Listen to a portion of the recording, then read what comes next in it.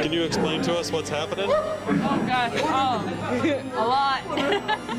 it's just, it's all, all the Kitty and Ron and we were doing all the golf course stuff. It's ten bucks to get in, you get access to everything. So What does the 10 bucks go towards?